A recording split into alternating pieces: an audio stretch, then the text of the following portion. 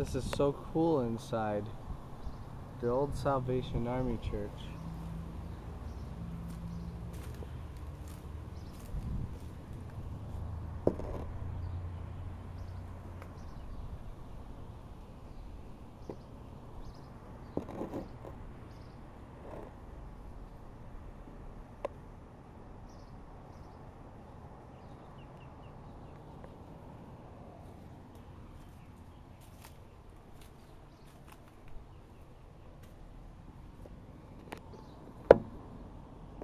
Cool.